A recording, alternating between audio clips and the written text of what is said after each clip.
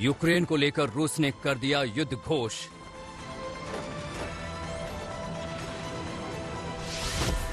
रूस ने यूक्रेन को बांटा, किया चैलेंज।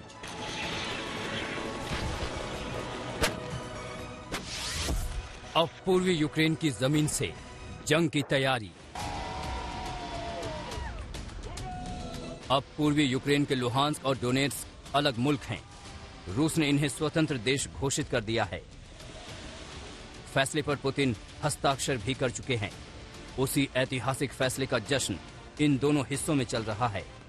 रूस ने वो फैसला कर दिया है जिस पर न तो यूक्रेन को उम्मीद थी, न ही यूक्रेन के नेटो के साथी देशों को।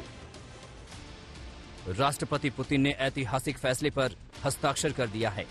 उसके मुताबिक पूर्वी यूक्रेन के दो अलगाववादी इलाकों को स्वतंत्र देश के रूप में मान्यता दे दी है। मानचित्र पर पहले लुहांस और डोनेट्स पहले पूर्वी यूक्रेन का हिस्सा थे अब रूस ने इन्हें अलग देश के रूप में मान्यता देकर मानो एक तरह से महायुद्ध का बिगुल बजा दिया है यूक्रेन को बांटने का प्लान बताने खुद पुतिन आए उन्होंने ताजा हालात को लेकर अमेरिका नेटो पर निशाना साधा पुतिन ने बताया कि कैसे रूस के लिए यूक्रेन खतरा बनता जा रहा है И то, почему это так важно для нас, для России. Ситуация на Донбассе вновь приобрела критический, острый характер. И сегодня обращаюсь к вам напрямую, чтобы не только дать оценку происходящему, но и проинформировать вас о принимаемых решениях, о возможных дальнейших шагах на этом направлении.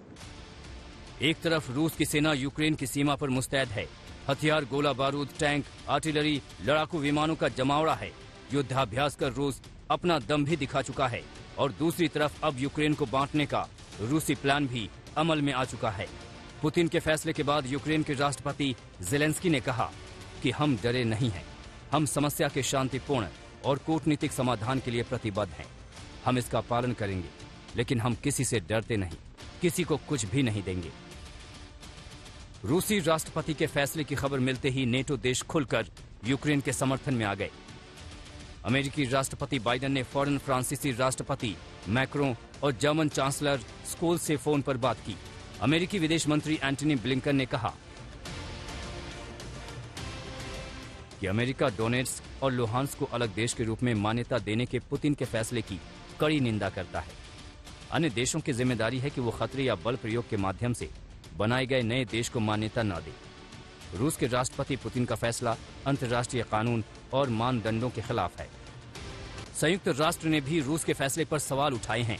दो स्वतंत्र देश की मान्यता को यूएन ने यूक्रेन की संप्रभुता का उल्लंघन बताया है। तो अब आगे क्या होने वाला है? माना जा रहा है कि रूस ने अपनी सेना को युद्ध का फरमान थमा दिया है। अब देखना यह है कि रूसी सेना यूक्रेन की ज़मीन पर जंग की शुरुआत कब करती है। दिल्ली से गीता मोहन और यूक्रेन के कीव से गौरव सावंत के साथ आज तक ब्यूरो।